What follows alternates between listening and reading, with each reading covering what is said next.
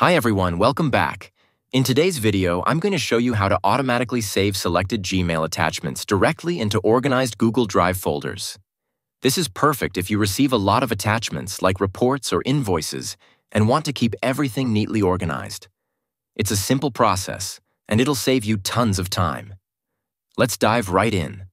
First, you'll need the template for this process. You can find the link in the description below. Click it to make a copy for yourself.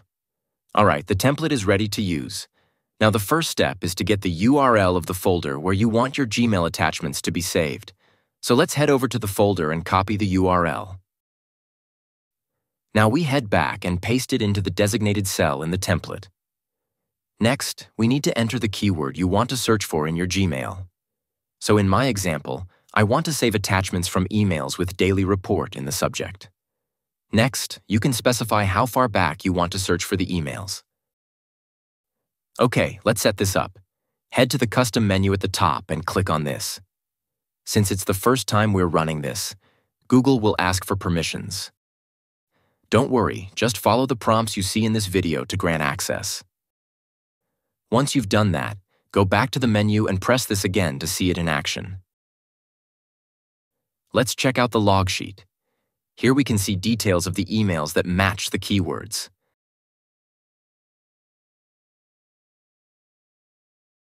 Yes, the process is complete.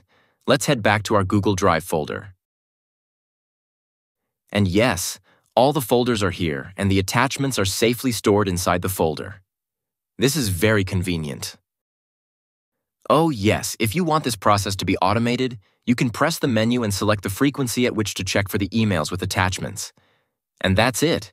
You've just automated the process of saving Gmail attachments to Google Drive with minimal effort. Thanks so much for watching. If you found this video helpful, don't forget to like, subscribe, and hit the bell for more tips like this. I'll see you in the next one.